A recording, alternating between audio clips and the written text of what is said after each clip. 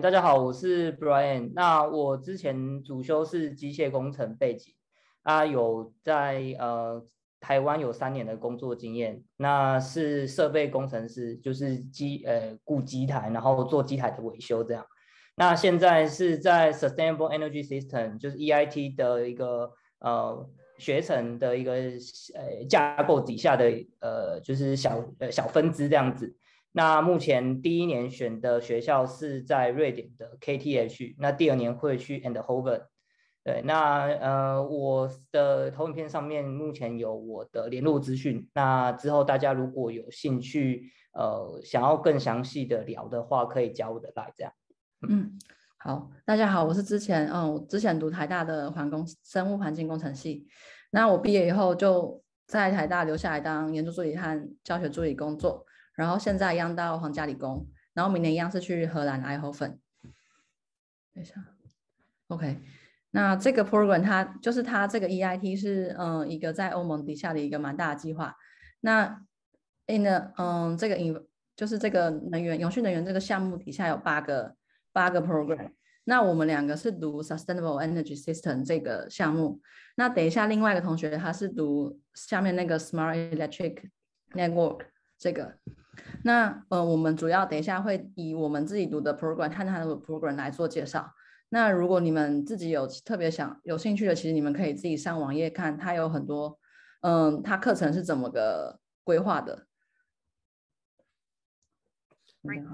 那。呃，那现在就是跟大家介绍一下，我们就是这个学程有合作的一些学校。其实每个学程，呃，它每一个分支合作学校都不尽相同。那这图同影片上面秀的是我们这个学程，呃，就是可以和就是可以去的学校。那其实第一年跟第二年呢，我们就两个选择，就是你不是在瑞典的 KTH，就是在西班牙的 UPC，两间大学就二选一这样子。那第二年就依据不同的呃分支，依照你的兴趣，呃，你是想要读 solar power，还是想要读 wind power，或者是想要走电力系统，或者是想要走 biomass 等等，就是依据你的兴趣去选那个学校提供的专修的科目。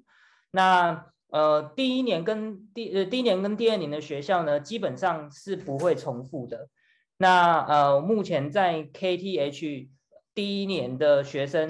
呃，其实会透过视讯的方式跟 UPC 的学生，你好像是第一年的，然后去共享我们的课程。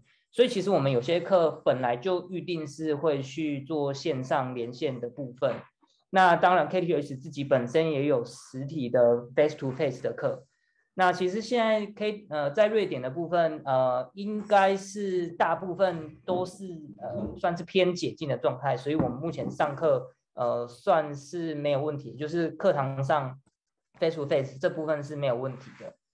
那呃，下面那一张就是目前呃实时的 KTH 的照片，在前两天才拍的，就是枫叶都红的这样子，对，蛮漂亮的 KTH 的呃环境，以及我觉得它是一个好读书的地方啊。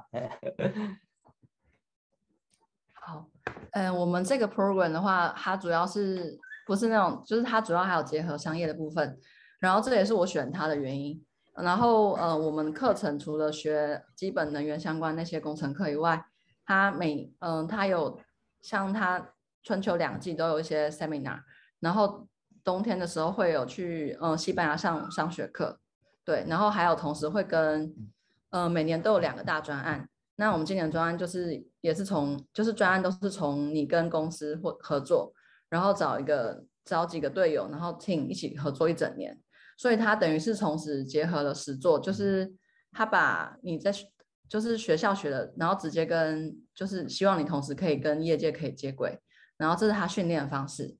所以像呃第一年我们就有 project of year，然后明年的话会是自己要嗯做一个专案。那我下面这是一个举例，像今年我们拿到的题目会是像嗯跟这个大型的公司做，然后他有给我们题目，就像譬如说你要算这些东西。那或者是这种荷兰的新创公司，他自己想到一个就是碳捕捉，然后后来转成呃电能，然后可以就是可以变成一个一个新的一个嗯能源的方式。对，那你就是第一年的话，你可能就是他会帮你派十个人一组，那你会排你题目的志愿顺序，然后你会被分配到你喜欢的组别。那这边就只是提，就是举个例子，就是说他每年都有这种大型的项目。那第一年他会给你题目，你要自己选。然后第二年的话，就是你自己找组员，然后找找所有的资源，然后去也要让一个专案出来。对。那其实，在我们这个学生里面，呃，不是只有呃工程背景，或者是真的是我们所谓二类的人，其实也有呃相关 management，或者是他本来的呃学术背景不是工程背景，但是有去做了工程相关的工作的人来读也是有。那其实呃不管有没有工作经验，其实我们。就我们这一届来说，有工作经验的人其实不在少数，大概有三分之一至少都有工作的经验，那各个领域都有这样子。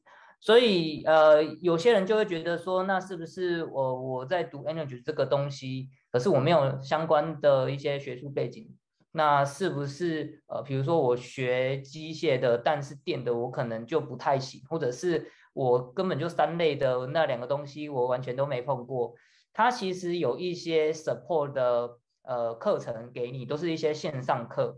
那其实这些课程呃都是免费，你只要就是 supply，就是你有申请上，它就会开放账号给你，让你去学。所以这是一个他在学术方面的一些 support。那其实呃学校就算是你真的是呃没有人可以问，呃我们就是学校这边也有 tutor。可以帮助你这样，所以其实我觉得，呃，在课业的 support 方面，或者是在呃硬实力的方面，呃，是不用担心会没有地方可以寻求帮助这样。那其实刚刚 Jenna 有提到说，呃，我们其实这个学程除了呃真正的在教学科之外，其实想要跟呃，业界或者是想要有一些呃 management，然后有一些企业的一些呃相关领域的知识。那除此之外，我们也有一个叫做我们自己的 community，算是一个人脉网。它将这一个学程毕业的所有的毕业生，那以及呃就是目前就是正在就学的人，就是全部集合起来组成一个 network。那那个 network 里面其实呃有非常多的一些资源，不管是工作的机会、工作发布，或者是呃他有一些研讨会的邀请，那甚至有一些就是免费的参访都有在里面。大家就是到时候你加入了之后，可以用这个 network 去做一些呃跟其他人的连接。呃，有有有有问题吗？哦，嗯，关到静音，没关哦，好，是是没关到静音，是是，OK OK，好，那这部分就是呃，算是我觉得在这个学程里面呃做的 connection 做的非常好的一部分，就是不用担心你工就是毕业季失业这样子，其其实有很多人，嗯，就我们自己这个学程里面，其实大概六到七成在毕业之前就已经有工作。所以，呃，这个部分我觉得跟业界连接的部分是不太需要担心的。好，哎，讲到就是这个 program 很新，当初很吸引我点，就是因为它有提供奖学金。那他今年奖学金一个是全免，一个就是一半半奖。那他的学费是一千呃一万八欧元每年，然后就是全包。所以包括像我们，嗯，上周我们才去葡萄牙参加那个 seminar 回来，所以那个基酒是全包的。所以就是你缴了学费以后，它是，嗯，它就是你不用再另外缴任何东西。那他，我很建议就是，如果你自己就你家里面如果没有办法帮你的话，或是你可能想要靠你自己出去，那然后他的嗯方向跟你自己想要的很类似，那我觉得你可以考虑申请，因为他的确嗯提供很多人，就我们班应该都有一半半奖。就你是看 program，像我们这个 program，嗯，sustainable 这个 system engineering 的话，听到大概一半人都是拿半奖。对，然后有像呃，如果是听他的 program，可能是没有没有，可能就没有 奖学金，就是好像是看每年看看你的 program 的样子。所以嗯，就如果你真的想要，你就尽量申请看看，因为这毕竟是一个可以提供你奖学金出国的机会。那他像今年他开了一个好像是比较特别的一个奖学金项目，也是全免奖学金的，那是一些 diversity。所以你们有想要申请的人，就是蛮建议你可以申请看看，因为嗯，因为硕士出国真的蛮少有可以拿钱的机会。嗯，哦，那我稍微补充一下，就是这个奖学金呢，你只要申请这个学程的同时，它就会自动帮你带入奖学金的申请。那所以你不需要另外写其他的一些就是 motivation letter 或者什么去申请这个奖学金，它只要你有申请，只要你 apply 这个学程的任何一个分支，它就会自动帮你申请。有上了，你在审，你在被呃就是通知说学程有上的时候，他会一并通知你说你有没有拿到奖学金这样子。OK，他他会有啊？他有一个勾啊，对啊。他会有让你勾，就刚刚那边倒下去，他会到时候你申请，如果你有申请的话，他让你勾你想要全奖还是半奖，还是你不用钱？那你当然你很想要钱，你就会勾你想要钱，就我就自己勾我要想要全奖，但他还是有一半，对不对？所以所以看你们到时候申请的时候，那所以呃你为什么要申请他？就是你可以自己想你为什么要。那以我自己来看的话，像他给我奖学金，然后还有像他的训练方式，我觉得还蛮适合我的，就他是结合了嗯很多商业的东西。然后还有实作，然后跟整个 run 一些呃 project 的部分，所以我觉得他训练方式适合我，然后加上他跟我未来想走的方向是相符，然后有钱拿，所以嗯，就你们可以想一下为什么要申请，然后你们也不用局限于就是你大学毕业就要直接申请研究所，因为其实我们班同学很多人都是三十几，就是欧美的，他们其实很多人都是工作可能五六年七八年，然后才又回来学校，就我觉得亚洲是比较窄，就是大家都是。就我们一些亚洲同学都是真的是毕业就直接来的，但其实你其他同学看的话，其实大家就是很多样性，对，所以如果你现在今年可能或是明年毕业，那你们要申请，你也可以等个，嗯，等你可能毕业几年后突然想充电，你再回来。哎哎，他举有人举手了，可以发发问，没关系，你说。嗯，什么？哎，等一下哦，等一下，你要点。他点下去，对。今年要写五百字啊。哦，要写什么写成这样？啊，不知道。五百字可以拿钱，那差吧？你要想一下，你为什么真的很想要这笔钱？对，你要能够对写出来。但我觉得，因为其实我们每年在做 motivation letter 的时候，本来就已经会写，就是字，我觉得应该不止五百字吧。你可能要写个两字啊，两页 A4 之类的，才有办法做好你的 CV 或者是你的 motivation letter。其实我觉得应该还好，对。OK，呃，等一下，是不是还有其他人？还有问题吗？哎，还有一个，哎，没关系，我可以过来。哦，呃，举手的可以直接说。你怎么把？好，嗨，我叫 Leo，请问听得到我的声音吗？哎，请说。可以。哎，您好，就是就是你刚刚讲，就是我刚刚我刚刚说五百字那个是他们要在写 motivation letter 之外。要再写一个五百字的 AC 去申请奖学金，然后我的问题是说，那以你们的角度来看，因为正如你们刚刚所说，其实我们在 motivation letter 里面已经蛮具细靡遗的叙述自己的 background，自己的各个经验，为什么我要申请 EID program，为什么这个 program 适合我？那以你们的角度来看，我们既然已经在 motivation letter 里面去叙述这些东西的话，那我们在 scholarship 的 AC 里面我们要写什么？才不会跟 motivation 写的内容重复，同时又让我们自己更 stand out 呢？呃，我没有详细去看今年就是奖学金申请，他需要你，他应该会给你一个题目吧？他应该会要求说你需要写些什么东西在你的五百字里面，他应该有要求，你有看到？他这里面就写说写你自己的 background、的 academic、的 working experience、的 entrepreneurship，可是这些内容。就是感觉跟 motivation 写的内容就蛮雷同的。嗯哼，OK。我自己的想法是，我觉得你可以多琢磨在，呃，你拿到一笔钱之后，你会怎么使用？我觉得，对，我觉得是你为什么真的很需要这笔钱？对，为什么需要这笔钱？因为他像我们班有些人没有钱，就是他当然会想颁给真正比较杰出，或是你真的很需要这笔钱的人。所以你自己觉得你为什么可以拿到这笔钱？就你相比别人比起来的话，你觉得你真的比较突出吗？或是你真的？嗯，你对这个社会会比较有贡献，或者什么，就你可以自己想一下你要怎么写。然后你当你真的很想要这笔奖学金的时候，我觉得你可以写出来你要写的东西。对，了解。好，谢谢你们。那还有一个是肖肖吗？肖鱼虫吗？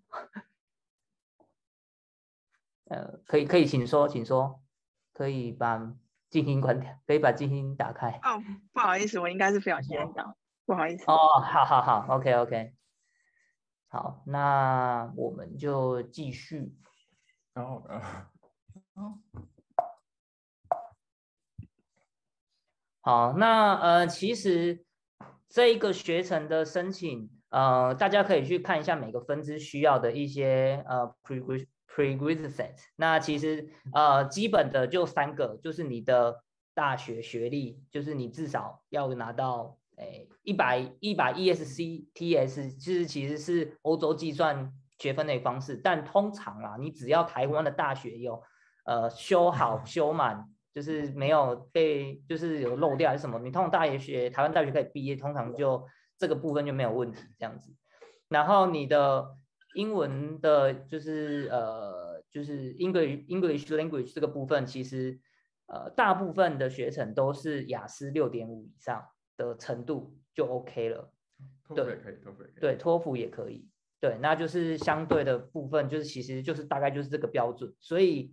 相比，比如说美国或者是一些商学院，它的标准其实相对来说是低蛮多的，因为雅思六点五其实没有到非常困难。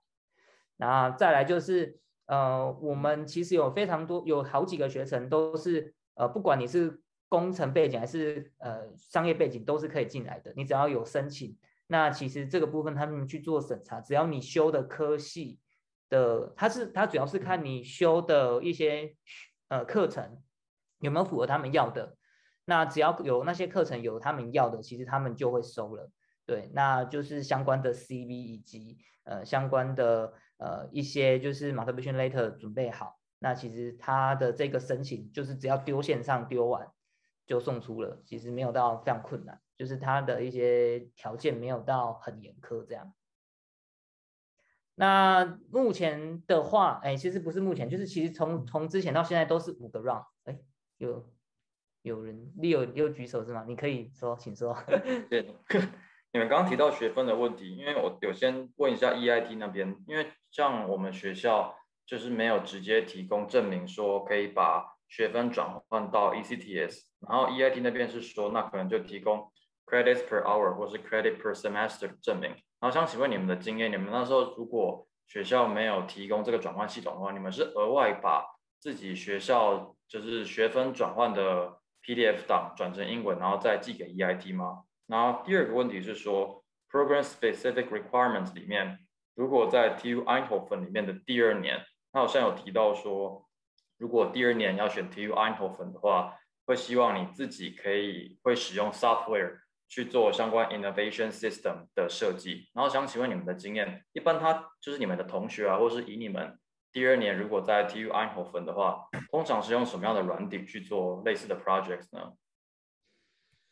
嗯，好，我先回答第一个问题哦，就是其实我们那时，哎，我我自己的经验啊，我那时候就是成绩单，我就把它英文版的，然后，哎，通常学校成绩单最后面都会有一些附注，比如说学分是怎么计算的，就是怎么同整的这样子，我就只是拿英文的呃成绩单，然后神秘出去而已。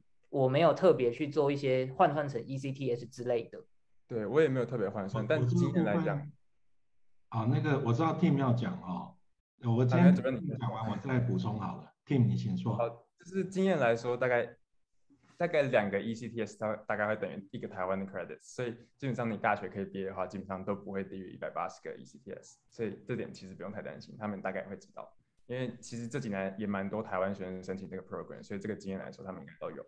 对对，那个呃，并讲的是没错啦。我这边跟那个 Leo 说一下哈，基本上所有的同学申请欧洲的大学，台湾的同学申请欧洲的大学，根本不需要告诉学校如何将台湾的学分转换成欧洲学分，因为刚刚 Team 也说了，通常按照一般的情况就是。啊，两个欧洲学分等同于是一个台湾学分，那也就是说，一个台湾学分等同于是两个学分。那呃，其实当你写信去问那个呃 EIT Inno Energy 的时候，他们为了要很认真的回答你问题，那结果就是整个整个方向通通都走歪掉了。那基本上哦，根本不需要去换算，你也不需要跟学校教务处说，我因为申请这个呃欧洲的学校，所以我需要换算这个呃换算成欧洲学分，完全没有必要做这件事情。那另外那个呃呃这三位同学做的简报上面写说，EIT InnoEnergy 需要说最少一百八十个欧洲学分哈。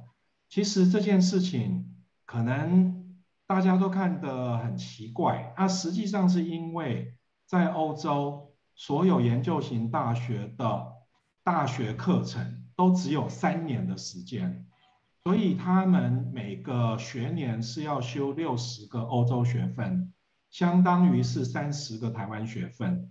可是台湾大学的设计走的是美式的设计，所以变成说有四年的时间。所以我们这边每一学年大概修快要三十个学分，那因此以台湾来讲的话，我们基本上会有将近快到一百三十个学分的的台湾学分，也就是等于是几乎可以算得上是超过两百四十个欧洲学分。所以现在在呃在准备申请的同学，请各位不要再担心学分换算的部分。真的要去计较的部分，应该是在于说，他所规定的主修，或者是他所规定的某些相关联性的学分的学科，你是不是具备有这些？那所以，请不要再去看那个呃整个学位的学分就是这样啊。我这边解说有点太长了哈，所以我就暂时到这边。谢谢主任。那刚刚 Leo 的第二个问题哈，关于第二年 and Hoven 的这个部分，呃，其实我跟 Jenna 都是 and Hoven 的。那我目前哦，Tim Tim 也是，呃，目前呢，就是我有问学长，他们是说他们目前有用到就是 MATLAB，但其他因为就是我不确定，可能依据你自己呃 Master Thesis 不同，可能会用到其他软体，但是目前 Basic 就是 MATLAB。这样子，对我这边有点要分享，就是说，其实呃，第二年会用到软体，主要是跟你实习合作的公司有关，所以基本上你可能要看你想要走哪个领域，然后去看那个领域通常在处理这些问题的软体是什么。所以这其实没有一个就是标准答案，就是真的是要看你未来想要做什么，然后再去看说通常这些公司都用什么软体。但基本上 MATLAB 一定是基本一定要会的。对，我这边补充呃，刚才两位同学的说明哈，那因为他们现在人都在那个瑞典的皇家理工学院。那他们是明年才要到那个 TUE 去，那呃虽然说他们已经听说了去 TUE 要做什么，不过我这边跟那个提问的 Leo，我在这边跟你讲哈，因为我们呃十一月份有荷兰教育展，十一月十三日，那呃已经念完这个呃 KTH 跟那个荷兰 TUE 的校友。他目前在那个呃台湾的工研院工作，他会在十一月十三日荷兰教育展亲自到现场来主持那个 EIT InnoEnergy 的摊位，所以如果同学很好奇说到了 TUE 那荷兰的那一年到底是怎么一回事哦，你们可以到现场去请教他。好，时间还给三位。好，谢谢主任，谢谢三位。好，谢谢大家。哎，接下来就稍微说一下我们 EIT InnoEnergy 的申请的部分。那其实我们的申请总共有五个 round。那通常如果你要拿奖学金的话，呃，大部分都是在 round one 到 round 三，round two，哎，round two 或 round 三就会发完。所以其实越早申请越好。就是我，哎，他之前有说就是。呃，run 四、run 五通常不太，通常不太会给奖学金，都是给 run 一到 run 三的人，所以越早申请，你的机会越大。嗯，那还补充一下，就奖学金部分，像我们这届有的同学们，就是他他发现就是他原本申请上，呃，申请上这个他报哪个 program，就第一年到一样 KTH，第二年到呃鲁文的，然后他后来颠倒，就他 run 五再申请一次，然后把学校给颠倒，就他就有钱了，就他原本没有钱拿。然后因为他也需要钱，所以他 run 四的时候申请的时候是没钱，然后他让我再试一次，所以他有钱了。所以然后我听到其他同学是说，他们他的学校是奖学金有时候是看学校，就如果你的学校很热门，其实就没奖学，就这样不大难拿到奖学金。对，所以如果你填的学校可能比较没有那么没有那么热门的话，你可能就拿到的几率比较大。就是这是看就是看运气，对。但我觉得有申请有机会啦，对对。但不过就是，哎，如果你申请上了，可以考虑一下，到底要不要为了就是，如果真的没拿到奖学金，要不要申请其他 run？呃，大家可以斟酌一下。但如果你 run one 没有申请上，你要申请 run two 或 run 三是 OK 的。嗯，所以越早申请机会越大。嗯，我只能这么说。OK，那我们我跟 Jenna 的报告目前就到这边，那接下来就请 Tim 来帮我们。做主 OK，Hello，大家，我是 Tim，然后我也我也是一样是就是 EIT Inner Range Program，但是我跟他们两个 program 不一样，我是智慧电网的 program，它叫做 Sense，就是 Master in Smart Electrical Network and System，对，然后可以叫我 Tim 就好。然后这是我今天的就是 table contents，然后大概会讲这些东西。OK，然后这个是 EIT，他们刚刚应该介绍过，所以我就不再细讲。呃，然后这是就是 EIT Inner Energy 提供的八个 program，他刚刚应该讲过。然后我是华什么？啊，好没关系，就是我是倒数第二个。OK，然后这个是就是关于点去我们点进去我们 program 会看到的介绍，基本上我们 program 就是在讲说，就是未来的电网要怎么处理一些市场面跟技术上面的东西。然后对，然后上面有写说我们有五所顶尖大学，然后几个就是一周的 module，然后有一个四个礼拜的商学院课程，然后还有 average entry salary，但是对那个就看看就好。OK，所以我们 program 第一年的话，我们第一年全部全部人都在 KTH，因为呃这个其实蛮合理的，因为 KTH 电机很强，然后我们 program 又是比较专注于在一个特定领域，所以我们就是学电嘛，所以就是基本上第一年把全部人都丢在一个电机最强的学校，然后训练完一年之后，第二年我们有四所学校可以去，有一所跟他们一样是爱因霍芬，然后再来是比利时的鲁文，然后再是法国的 Grenoble 跟 UPC 巴塞罗那。然后排名来讲的话，是鲁鲁文最高，但是性质如果你是就业导向的话，基本上还是比较推荐去 TUE。那如果是法国那所的话，它基本上需要你有一个法文好像 B1 的证明，所以基本上大部分台湾人可能都不会有 法法文 B1 level，所以就比较难。那 UPC 就是啊，它好像是走资料驱动的电网分析，对，所以这四所学校基本上就是呃，看你未来想要走的走的 track 不一样的话，你就可以去不同学校，对，然后。所有的 EIT program 毕业之后，你都会拿到两个学校的那个 master 的学位，跟一张有一个 EIT label 的证书，所以基本上是一个 CP 值非常高的 program。因为你会拿到，比如说我会拿到 KTH Double E 的 degree，然后我也拿到 TUE 的 Double E 的 degree，然后还有一个 EIT label 的证书。对，OK，然后这是我们的 program journey，就是我们第一年啊，这基本上是第一年，就是我们第一年有五个 module，module 基本上就是。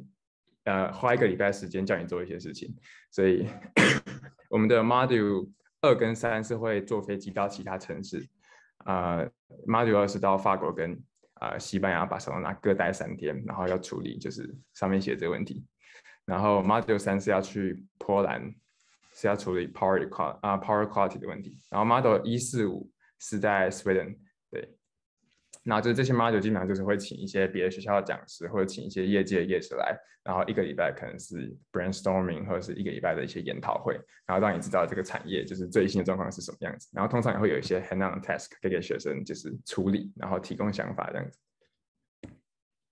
OK，然后这是我们的 innovation and entrepreneurship journey，就是。第一年的话，我们会有个 Industrial Innovation Project，这个是在下个学期，就是明年一月开始。那这个 project 基本上就是我们可能三到四个人一组，然后会解决一个电力产业里面真正一个问题。譬如说，有些公司可能会有预测电价问题，然后有些公司可能会有，比如说呃断路器要怎么要怎么建，然后或者是一些电网的通讯问题，就是基本上围绕在未来电力系统上面的一些问题。然后再来第二个是有一个 Entrepreneurship Summer School，就是我们在六月中到七月中会去西班牙的诶萨德商学院待一个月，对。然后另外要提的是那一个月的食宿费跟机票还有课程也都是 EIT 包，就是我觉得谢谢 EIT。对。然后 Battle of Green Talent 应该是所有 EIT 的 program 都会有，就是它是一个蛮大型的比赛，然后就是你可以去报名，然后你可以想想想看要怎么就是救救未来，要怎么用更绿的方式就处理一些现有的问题。然后的命就是基本上就是把所有的我们这个 program 的学生聚在一起，然后这样我们就可以知道一些第二年的学生他们的呃 thesis 在做什么。OK，请说，请说。有人举手了。嗯哎，有吗？没有吗？没有人举手？应该在下面吧？没有举手会跑上啊？啊，举手会上。哦，举手可以取消是吗？好好，OK，OK，好，好，那我们继续。没有有问题可以就是打断我，没有关系，我不太介意。对，然后 the meet 就是对，就是我刚刚讲，就是 所有的和我们这个 sense 就是智慧电网学生会聚在一起，然后看看大家未来想要做什么，然后现在正在做什么。然后 data science for energy engineering 就是因为如果你未来想要走市场面或者是一些电力预测或者一些电力市场的最佳化的话，基本上最后都会走到资料驱动这一块。所以啊，所以我们有一个有一个就是科目，就是有一个怎么讲，就是有一个项目是 data science 的，就是教学教你怎么用 data science 做一些事情。那可能就要学会用 Python。对，然后最后是你的呃硕士论文，就是基本上第二年大概有可能八到九个月在做硕士论文这件事情。对。OK，所以就是我大概小小分享一下我在 KTH 电机 待了一个月的感想，但就一个月，所以就是可能还是有一些 bias 的，对，但就大家可以听听看。就是 KTH 电机系授课上真的很扎实，就是呃，我觉得欧洲的教授呃真的花很多时间在解说上面，然后欧洲的学生 就是可以进到 K H 电机系的学生，也真的都是就是已经在这个领域很久，然后他们问的问题都很 specific，然后都会问到点。然后教授跟助教他们都很有料，然后教学很用心很扎实，就是可以很明显感受到教授你怎么这么认真在想要把这个问题讲解好，就是我觉得这是一件很棒的事情。对，然后交流也都是很正向的，比较不会有一些，比如说大家想要抢某个分数，然后就比较比较负面的竞争，就大家基本上都是在一起讨论，然后一起把一个东西解出来，因为基本上我们没有分数的压力，就是我们可以全部人拿到 A 或全部人拿到 B。就没有关系，就没有说什么 A 只能二十趴人拿到之类，所以我觉得这边的风气是非常就是正向的。然后教学方式是比较应用导向，重视实物面。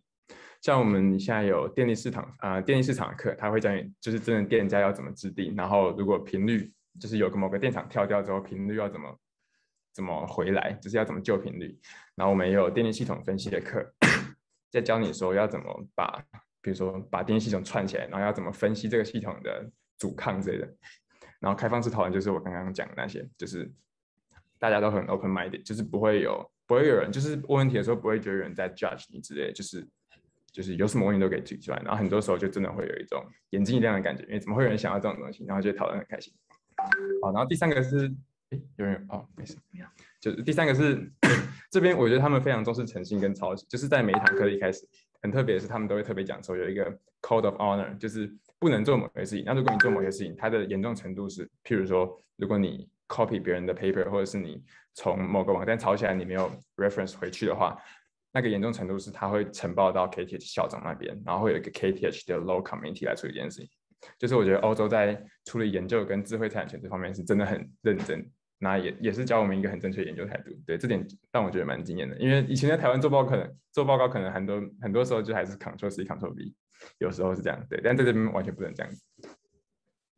然后学校资源部门，图书馆跟自习室讨论空间很多，就是一定有地方可以去。然后各种软体资源，大家在台湾应该不陌生，就是学校有很多自己的软体。然后第三个是。Teach innovation 就是如果当你有一个创业的 idea 的话，它是一个算是一个非常行之有年、很成熟的一个孵化器。但它特别是，它没有要拿你公司的股份，因为大部分外面有孵化孵化器的话，如果你进去一个 incubator 里面，他可能都会说，OK，你未来如果怎么样，我有你三十趴的公司的股权。但 Teach Teach innovation 没有这样子，就它就纯粹一个是一个为学生啊着想，然后提供资源的组织。所以如果你有任何 idea 想要把它 put into market 的话，你都可以去这边。那第四个是。呃，KTH Center of Academic Writing，就是它其实就是一个教你怎么写学术论文的呃地方，所以你有一些语言上的问题，或是你有一些写作上的问题，说写作伦理上的问题，都可以去找他。OK，然后城市跟学校环境，就 Stockholm 就是很多自然很美，但是物价还真的蛮高的。对。OK，然后就业方式跟概况，呃，第一个我想讲的是 EIT 公布的数据，如果你点进去 EIT 的 Master School 的 page 的话，它第一个上面就写说，有九十四趴的学生都在可能毕业。几个月之内就找到工作，然后像我们 program 它上面也直接写说就是 entry salary，所以基本上你有在 EIT 训练过，在 EIT 读过书，然后也拿过这两所学校的呃毕业证书之后，找工作基本上都不是难事，就是还没有听过什么人就是找工作遇到困难，大部分人可能都是毕业之前就已经跟实习的公司谈好之后几年的合约这样子。那如果 你还是很紧张的话，practically 有这些找工作的管道。最主要当然就是你第二年写论文实习的公司，因为这可能就是你未来想要走的方向嘛。然后在各大学校有，我觉得至少 KTH 这边 KTH Alum 呃 Alumni 就是他们的 connection 很强，然后 Linkin 也是一样很强。然后另外 EIT Inner Energy 有一个 community 的，不管是 LinkedIn 或它有一个就是 career 的平台，大家都可以上去找，有蛮多工作职缺都会优先在那边贴出来，所以其实真的不用太担心未来就业的部分。啊，选择现实原因，好，我觉得这可以跳过，这比较 personal。如果之后就有时间再聊。OK，然后这是五个 round，就是第一个 round 现在已经在 ongoing 当中，所以大家有想要投就赶快投，然后尽量越早投越好，因为你第一个 round 没有上，你第二 round 还是可以投，然后都可以再往后投，所以越早准备越好。然后 OK，好，我喝个水。你觉得讲这个吗？不用，现在就直接 Q&A 时间，然后你们有问题就可以直接问。嗯，请说，请说。请问现在那边的疫情怎么样？嗯。很自由自在，没有怎么样。我觉得这边这边处理疫情的观点跟台湾完全不一样，因为我们是一个海岛国家，所以我们可以用围堵的方式。但是在这边的话，基本上就是大家可能每天听到，比如说美国确诊十几万人，但是我觉得那个数字对很多西方国家来讲已经没有任何意义。对，因为他们主要在看的是疫苗普及率跟重症率。对，所以就是你确诊数的那个 base number 其实已经没有什么意义。但是其实你打完疫苗之后。就算你真的得了，也是会非常轻微的症状，或者可能就丧失嗅味觉一下下就回来。大家其实就跟一般的流感一样，所以我觉得大家不用把疫情担心太严重。然后何况说你深爱的家人们，或是你家里面的老人长辈也不在你身边，所以其实就是包袱不太大，对对对？那他们处理疫情的态度就是，对，就是放放纵，佛系防疫。就是如果你觉得你得的话，你可以去筛，你筛完之后他就跟你说，你有没有？你是 positive，然后。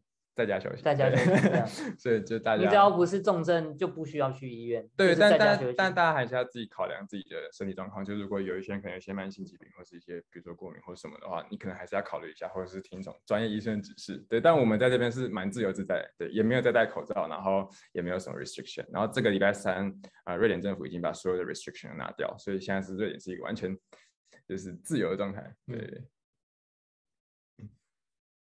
，OK。还有问题吗？有，还有其他人有问题吗？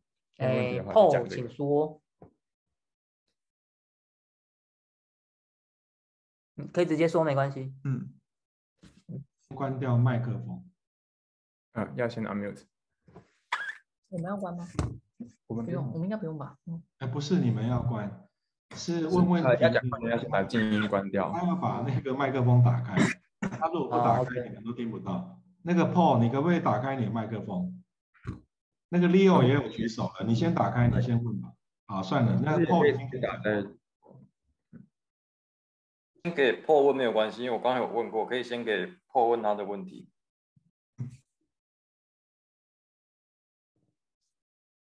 还是想要打在那个？大家不要让，谁先讲话谁先问。好，那我就先问喽。第 一个是关于 Project of Year，因为我看好像之前。刚主任有提到，刚刚那位校友应该是 Steve 吗？对。然后因为看他之前的分享，他好像他有朋友是他的同学，当时去非洲，那也是呼应刚刚那位同学问的问题。现在还有办法去非洲，就比较第三世界的国家去做 Project of Year 吗？然后第二个问题比较 minor 一点，因为我看 KTH 好像有，啊，之前有篮球队，啊，现在还可以打吗？哎，好，回答第一个，哎，先。问回答第一个问题，其实我们去年学长他们大部分都是线上 meeting 比较多，因为就是疫情的关系，所以几乎都是线上会。就是他们目前，呃，就是当那时候没有到实实地去，就是我们有一组是完全没到实地，就线上开完会，我们的去年的 project of year 那组学长就结束了。那今年我不确定，今年不确定，对，但是。呃，如果有机会的话，通常都会到现场去。对他只是今年呃状况蛮乱的，所以不确定这样。但是 Leo 问的问题已经，他如果他自己去欧洲念书的时候，讲到非洲这件事情，那已经都是两三年后的事情了。两三年后不需要现在担心。嗯。OK，OK。对，然后关于篮球队，呃，我不确定 K T 篮球队现在状况怎么样，但我知道 K T 有一个它叫做 KTH Dream Team 梦幻队的一个 WhatsApp 群组，他们蛮常来揪打球的。那如果是限制的话，打球没有任何限制，你只要有场地你就可以去，嗯，然后也没有任何群聚或者室内的限制，就是基本上你只要想要打球，揪一揪就会有人跟你打，对，不用太担心。对，校队部分应该也是一定会有，但是你可能就要想办法融入瑞典人当地的校队，因为可能国际学生或 Master Student 没有这么多人可以组成一个校队在练习这样子。嗯，对。但是如果要打球，一定会有办法可以打。对。我我觉得去欧洲的话，我插个嘴哦，那个 team 是很，刚才 team 解说的是说帮 Leo 去想，可是我觉得你人都到瑞典去了，你应该是去踢足球啊，打打。哎呀，我跟你说哈，足球足球真的太强了，足球只要什么周末例假日，你走到草皮上就一堆人在踢。那然后去欧洲就是要踢足球，那个篮球就不要管它了。是篮球就是很爱这项运动这样，对，那一定一定没有问题的，对。但是足球的场地真的比篮球场地多上非常多，可能有差三倍、三倍、到处都是草皮，他们随时都可以打，架一个球网就打了。然后呃，回答一下那个 Natasha 是这样念吗的问题，就是申请的时候大学成绩会影响很多吗？呃，这点我我我们自己不是考命题，所以我们自己不知道。但是就我们自己的观点，大学成绩是一定会影响，因为它是一个可以就是 evaluate 你一个。很 long term 的努力程度的一个指标，但是同样你一定有方法可以去解释说，如果你大学成绩可能没有到这么理想，你把时间拿去做什么事情？那如果只要你能够说服 committee 的话，那我觉得这 trade 是没有问题，就是在申请上面它的问题不会到很大。对，呃，再来，好，那个 呃，Brian，你是要讲成绩的事吗？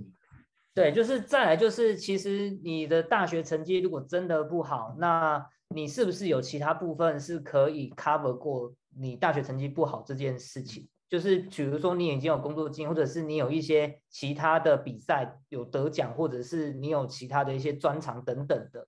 其实就其实我觉得写 CV 或者是写你的动机性，呃，大部分就是呃要凸显出你比别人好的地方，然后让面试的人看到你好的地方是他们要的。那就有机会，比较大的机会可以上。所以，呃，当然你说大学成绩影响一定会有，但是，呃，是不是可以用其他部分来弥补过这个部分？呃，那是不是就是看你怎么去运用你自己的专长？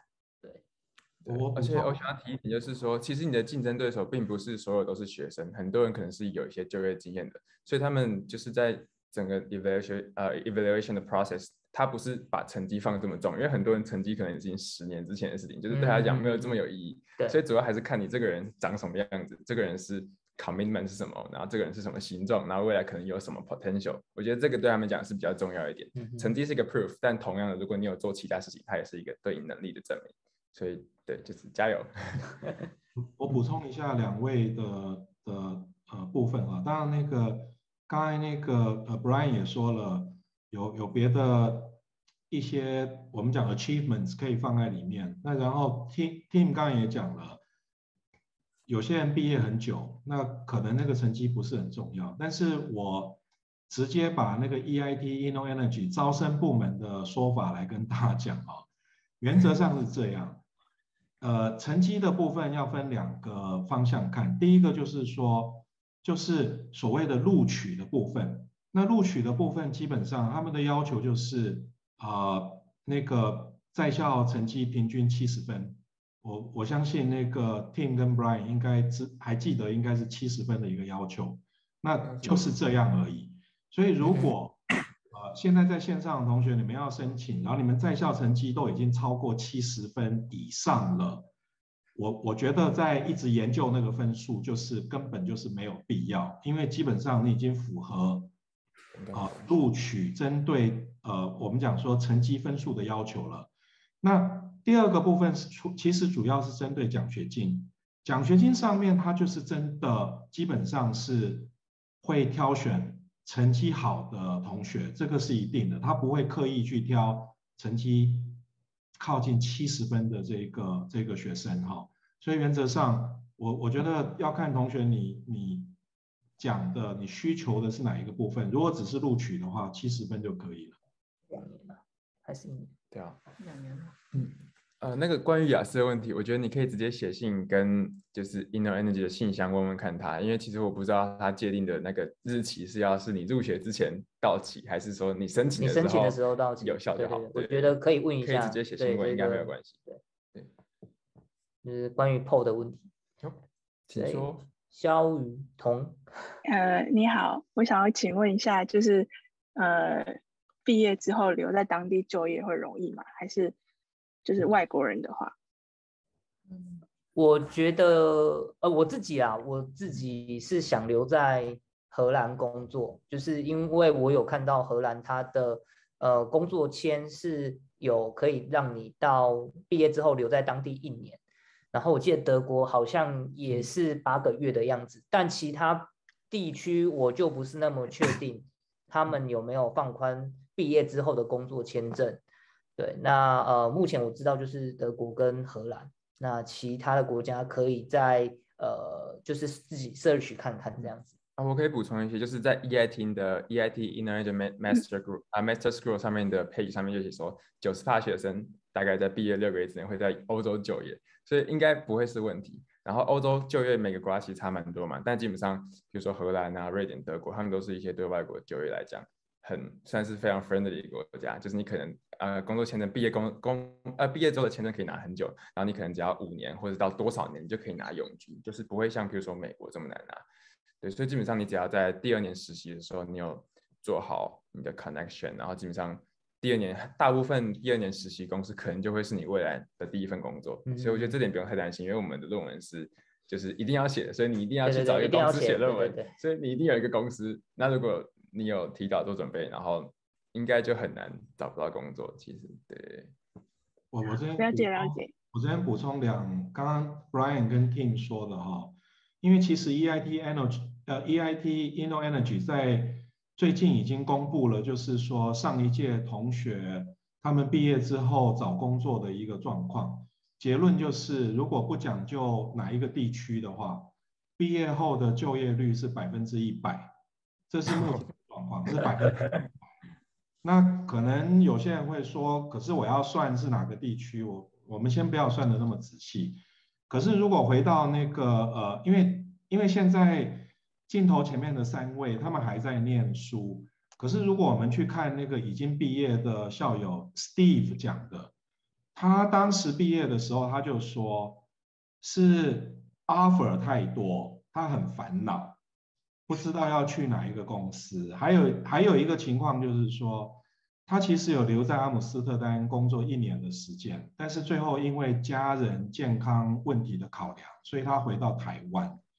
那所以我在这边跟同学讲，就是说，我觉得机会很多。那刚才 Tim 也也提到一个重点，就是说，啊，其实他们两位都提到一个重点，就是说。毕业之后，像刚才 Brian 也有讲说，德国啦，哈，给你时间啦，哪一个国家要给你时间？呃，Inno Energy 的课程会拿两个学位，然后在正常的情况之下，你会去两个国家。我这边就直接讲荷兰的部分。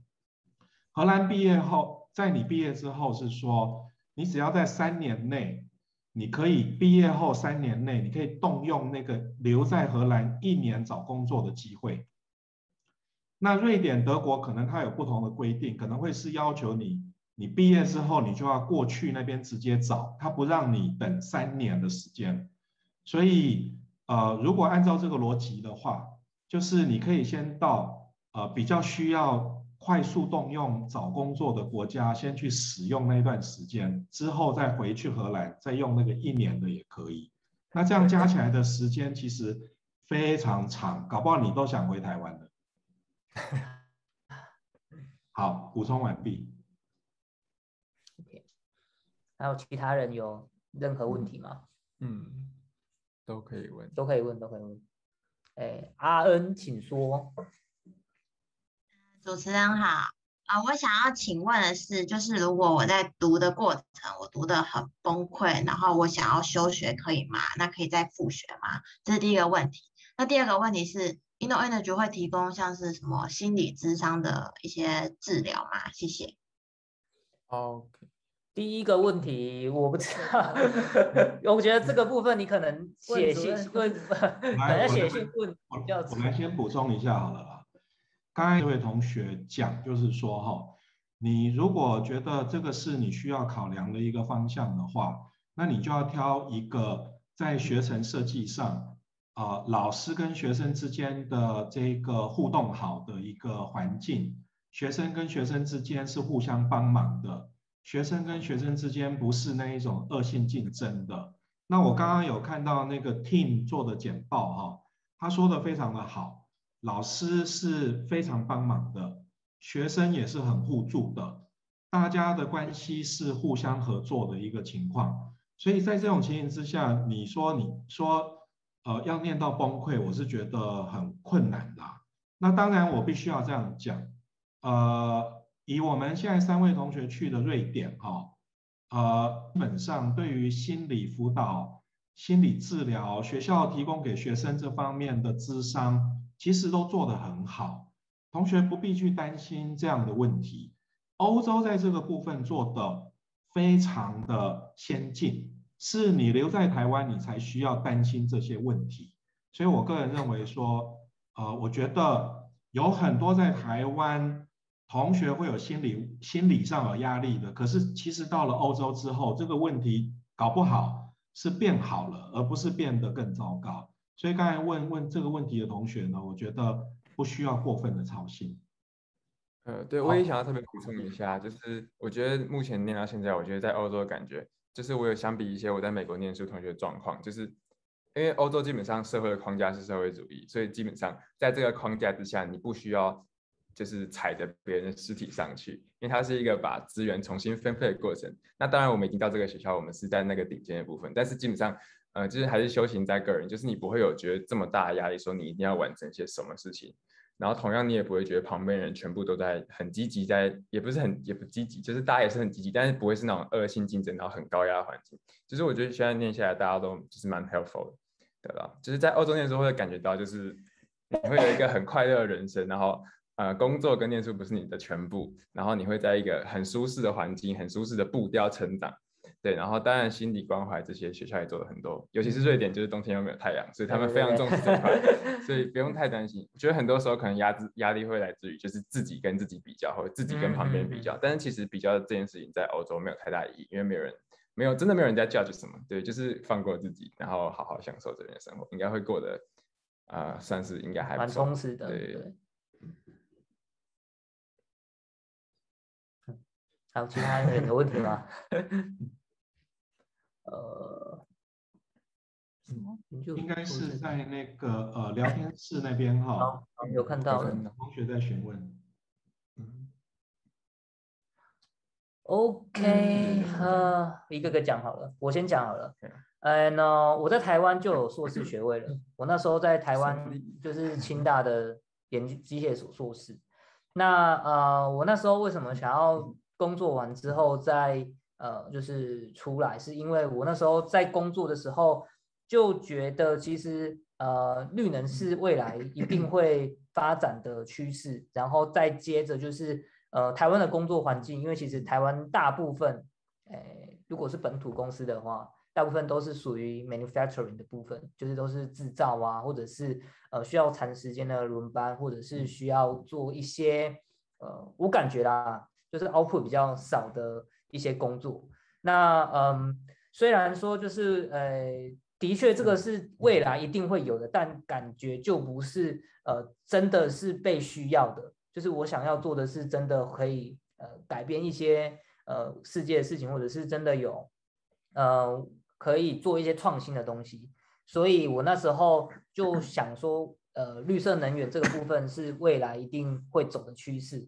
可能现在还没有非常有就是技术突破的一些呃呃就相关的一些东西出来，但是这个之后一定会走的，所以我之后就毅然决然，就是我呃三年的工作结束之后，我就直接做申请这样。那我那是我念就是我目前研究所的呃申请，就是在欧洲的申请，除了除了这个之外，就 EIT Energy 之外，其实我也有自己也有申请 TU Debt。然后有申请所谓的呃北欧五国，其实北欧五国也有一个类似嗯能源相关的一个申请。那呃这一个大家可以上网去查，就是好像是 Nordic，那 Nordic，然后 Nordic Nordic Tech 其实就有了。对，那呃目前就是我我我那时候 TU Def 也有上，然后 EIT Innoenergy 也有上。那主要呃我选择 EIT Innoenergy 是因为它有提供奖学金，而且它不是只有待在一个地方，他同时他除了就是有除了有双学位之外，同时也有呃关于商业的一些。promote，那甚至他自己 EIT N EIT Innoenergy 也有自己的呃 career center，他也有帮忙你 promote 一些你之后就业的面试啊，或者是你之后准备 CV 的部分，他也会做帮忙跟辅导这样。所以目前我呃就是目前申请的状况选择就是这样，这是我的经验。对，看其他人。看过吗？OK，那我我的话我只有丢这个 program。然后呃，我丢这个 program 原因是因为，因为我本身是转领域，就是我大学是成大能源工程，然后我算是我想要转过来电机，所以当我想要跳过来做智慧电网这块的时候，我有看过大大部分电机 program，但是一来是我不是一一背景，所以我直接申请一的 master 其实很难，然后再就是我本身其实对创业这块蛮有兴趣，就是我大学也有玩过一些创业东西，然后 EIT 又是刚好一个就是非常结合商业的 program，就它有很多实物面上的东西，然后跟怎么把这个东西市场化。就是我很有兴趣，嗯，对，然后再就是关于就业的部分，就是呃，就是要呃，学校这两年的学校跟国家都是一个就业很友善的地方，所以对我就选了。然后还有一点是我个人非常喜欢瑞典，然后对对，所以我本身是没有申请其他研究所是，但是我觉得如果你是想要转领域，然后对商学院或是对创业课程有兴趣，然后对就是一年一个国家有兴趣的话，那你可以选择 EIT 的 program。对，然后再来是实物面上学费上面，其实我觉得它算真的很划算。有一个数据是说，EIT 培培育一个学生，他大概要花两万五到三万欧元一年。但是我们的呃学费一年好像目前是一万八，之后会不知道不知道会不会再涨。所以基本上他花在你身上的钱比你缴的钱还要多。就是其实它是一个，就是我觉得算是一个，它真的是一个慈善组织的，就是它是拿 EU 的 funding，对啊，然后我们拿了很多资源这样子，对啊。就是给大家做参考。我自己是也是只有申请这个，因为我去年在第一 round 就投了，然后我就上，然后还有给我钱，所以我就没有再 我就没有再投其他东西，我就专心准备出来。对，所以然后我觉得你要申请的时候，你其实可以看看你到底想要走什么吧。就是你刚好，因为他是有给我钱，但是你也要看他给你钱是做什么。那他刚好跟我想要走的是，呃，是相同的，所以我才来。所以。你可以，你可以考虑一下，就是他刚好跟你未来想走方向是不是一样？就不管你申请什么学校，你都可以考虑这个点。对，然后包括那个国家，你可能想想待下来，或是之后相关的，你都可以整个全部的想，不用只想到说这个学校，然后这个现阶段而已。嗯，OK，好，OK，不客气。那念你念书会不会有问题？哎，完全不会。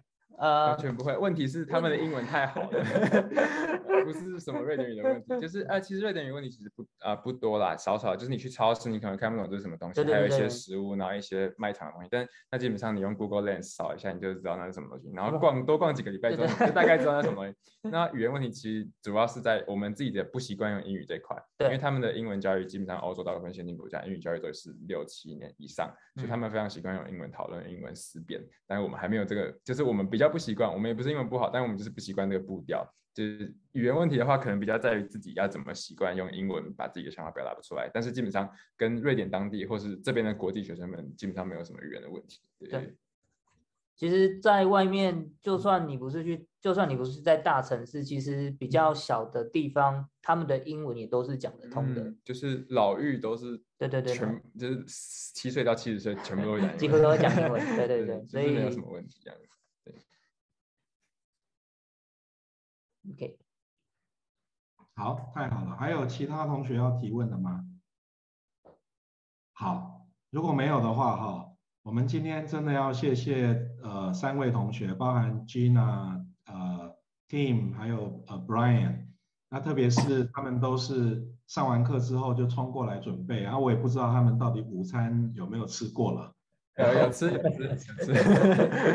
然后那个瑞典那边又很冷。然后他们还在帮大家做那么多的分享，我真的是非常呃感谢他们。那当然我相信啦，这是他们的呃第一学年，那之后还有很多的机会，我相信还可以再继续 分享给大家哦。那我我也希望说下一次能够有机会能够邀请啊三位。那我这边先给你们呃最大的一个祝福，然后也很高兴说你们北欧整个全部解放了，真的是太好了。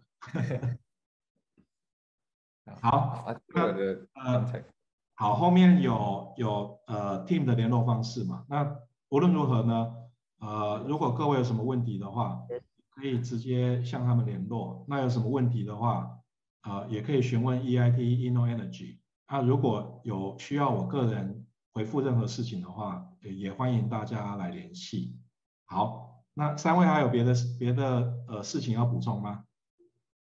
嗯，没有，就给大家 就是说一句，就是你有申请就有机会这样子。如果你真的想要出来念书的话，哎，其实也不用做什么太大的哎准备啊，但就是你的心心态上面调整好，其实就可以了。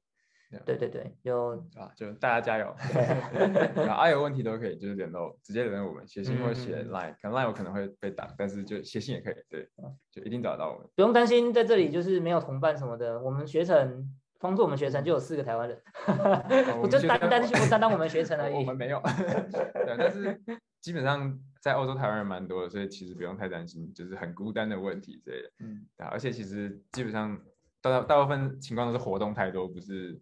没有没有活动可以去，或者很孤单，对，所以不用太担心。对，OK，好，谢谢大家，谢谢主任，谢谢大家，谢谢，好，拜拜，拜拜。